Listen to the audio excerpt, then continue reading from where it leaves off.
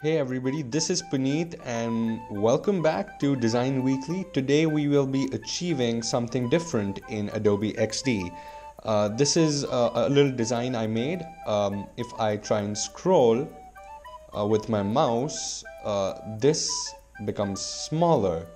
Um, now this is something uh, that is not e- easy to achieve in Adobe XD since uh, Adobe XD doesn't have a scroll uh, trigger uh, for animating stuff. Uh, so we just have to find another way to make this, uh, you know, um, come true. So uh, let's just quickly open Adobe XD and I'll show you this project. This is a quick little project that I've created. So what we're going to do is uh, this is the state at which it, it, it, opens and this is the state at which it closes.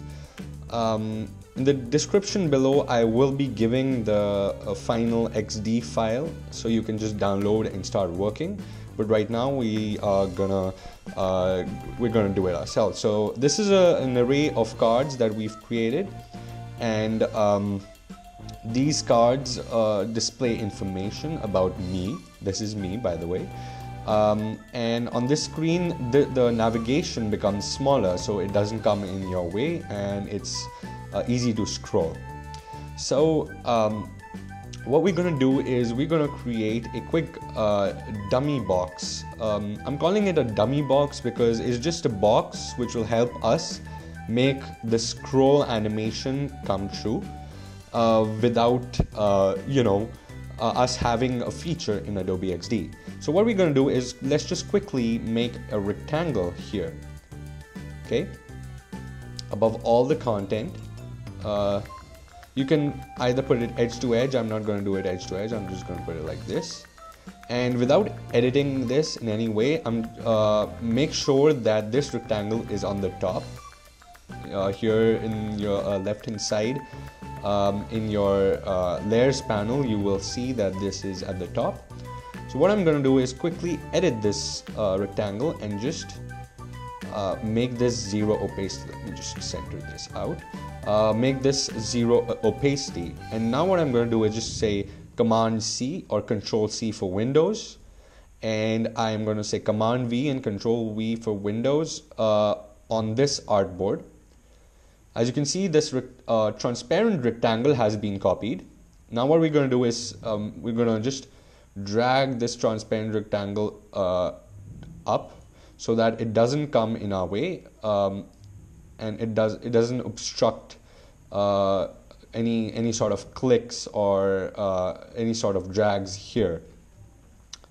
So that is all you had to do. That is the workaround. Uh, now what we're going to do is just select this rectangle. Now since it's at the top, you you don't have to worry about selecting it from the layers panel. So what I'm going to do is now click on prototype here and I'm going to click on this arrow, little arrow here and I'm going to drag this arrow to the second artboard. The trigger is I've already set it to dra drag, otherwise it will be set to tap by default. So what I'm going to do is just going to select drag, uh, say auto animate uh, in this case. Destination is the second artboard, and easing I'm to say hmm, something uh, something uh, a little easy. So I'm just to say ease in out. So that's to make make sure that it's a sort of smooth.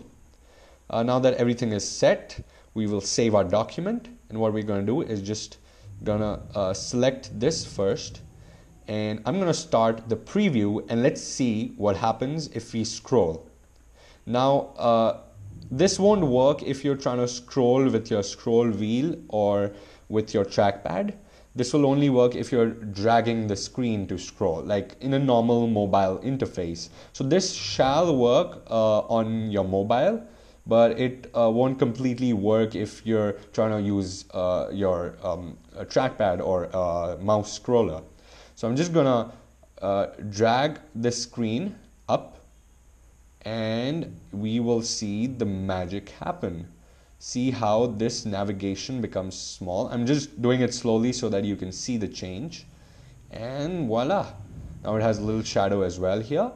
And uh, when we drag this screen, it scrolls normally. So that was today's tutorial. I hope you liked it. I hope you enjoyed it. You can edit your own stuff and you can uh, make uh, scrolling animations happen in uh, Adobe XD for sure. Uh, I hope Adobe XD introduces more uh, gesture based uh, animations in the next updates. But until then, what I'm going to do is uh, keep doing these series, keep doing this uh, design series. I hope you like this video. Uh, just leave your like and comments in uh, down below. And also subscribe to my channel, man. It goes a long way. If you subscribe to my channel, I will keep on making this uh, series. I will keep on making beautiful designs. I hope you have a great day. Keep watching, and I'll see you in the next one. Peace.